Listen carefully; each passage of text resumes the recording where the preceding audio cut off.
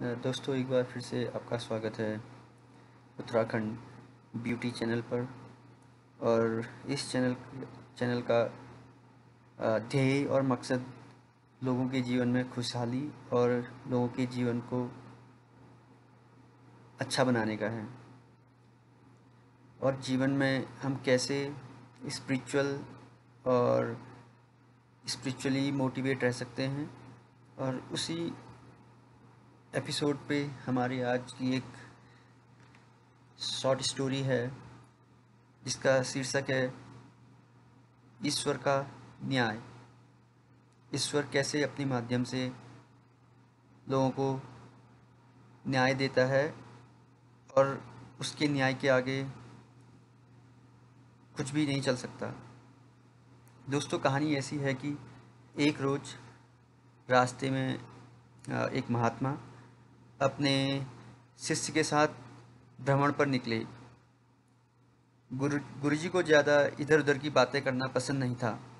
कम बोलना और शांतिपूर्वक अपना काम करना ही गुरु को प्रिय था, परंतु शिष्य बहुत ही चपल था, उसे हमेशा इधर उधर की बातें ही सूझती, उसे दूसरी, दूसरों की बातों में बड़ा ही आनंद आता था। चलते हुए जब वो तालाब से होकर गुजर रहे थे तो उन्होंने देखा कि एक धीवर नदी में जाल डाले हुए है। धीवर मतलब कि जो मछली पकड़ने वाला होता है। शिष्य यह देख खड़ा हो गया और धीवर को अहिंसा, परमो धर्म का उपदेश देने लगा। लेकिन धीवर कहाँ समझने वाला था? पहले उसने टाल मटोल करनी चाही और बात जब बहुत ज़्यादा बढ़ गई तो शिष्य और धीवर के बीच झगड़ा शुरू हो गया। यह झगड़ा देख गुरुजी, जो अप, जो उनसे बहुत आगे बढ़ गए थे, लौट के आए और शिष्य को अपने साथ चलने को कहा एवं शिष्य को पकड़कर ले चले। गुरुजी ने अपने शिष्य से कहा, बेटा, हम जैसे साधुओं का काम सिर्फ़ समझाना है। ईश्वर, लेकिन ईश्वर ने हमें दंड देने के लिए धरती पर नहीं भेजा है। तो ये बात सुनकर शिष्य ने महाराज से पूछा, महाराज, को न तो बहुत से दंडों के बारे में पता है और न ही हमारे राज्य के राजा बहुत, बहुतों को दंड दंड देते हैं। तो आखिर इसको दंड कौन देगा? तो शिष्य की इस बात को जो, का जवाब देते हुए गुरुजी ने बोला, बेटा, तुम निश्चिंत रहो।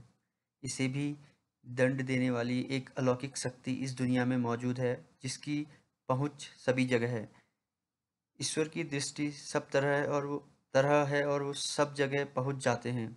इसलिए अभी तुम चलो, इस झगड़े में पड़ना गलत होगा, इसलिए इस झगड़े से दूर रहो। शिष्य गुरु जी की बात सुनकर संतुष्ट हो गया और उनके साथ चल दिया।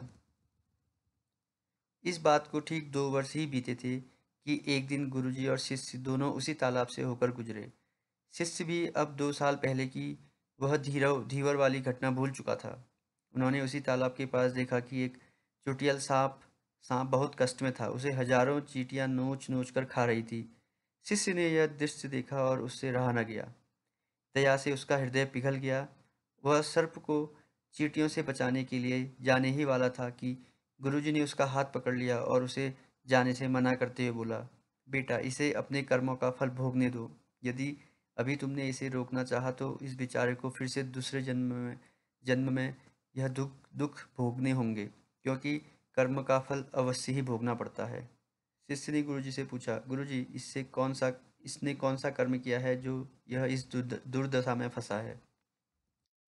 महाराज बोले, यह वह धीवर है जिसे तुम पिछले वर्ष इसी स्थान पर मछली न मारने का उपदेश दे रहे थे, और वह तुम्हारे साथ लड़ने के लिए आग बबूला हो जा रहा था। वे मछलियाँ ही चीटी हैं जो इसे नोच नोच कर खा रही हैं। यह सुनते ही बड़े आश्चर्य आश्चर्य से शिष्य ने पूछा, गुरुजी, यह तो बड़ा ही विचित्र न्याय है। गुरुजी ने कहा, बेटा, इसी लोक में स्वर्ग, नरक के सारे दृश्य मौजूद हैं। हर क्षण में ईश्वर के न्याय के नमूने देखने को मिल मिल मिल सकते हैं। चाहे तुम्हारे कर्म शुभ हों या अशुभ, उसका फल तुम्हें ही भोगना पड़ता है। इसलिए इसलिए ही वेद में भगवान ने उपदेश देते हुए कहा है कि अपने किए कर्म को हमेशा याद रखो, यह विचारते रखो, विचारते रहो कि तुमने क्या किया है, क्योंकि ये सच है कि तुमको वहाँ भोगना पड़ेगा। जीवन का हर क्षण कीमती है, इसलिए बुरे कर्म बुरे कर्म के साथ व्यर्थ, जीवन को बुरे बुरे कर्म के साथ व्यर्थ मत जाने दो। अपने खाते में अच्छे कर्मों की बढ़ोतरी करो और अच्छे कर्मों का परिणाम बहुत सुखद होगा और इसका उल्टा भी उतना ही सही है। अगर आप बुरे कर्म करोगे तो आपको एक दिन उन बुरे कर्मों का फल भी भुगतना पड़ेगा। तो प्रकृति और ईश्वर का न्याय इस संसार में ही मौजूद है। तो कोई भी कर्म इस बात को दिमाग में रखते हुए करना है कि जो भी हम अच्छा या बुरा कर्म करेंगे, उसका परिणाम हमें इसी जीवन में और इसी संसार में भुगतना पड़ेगा।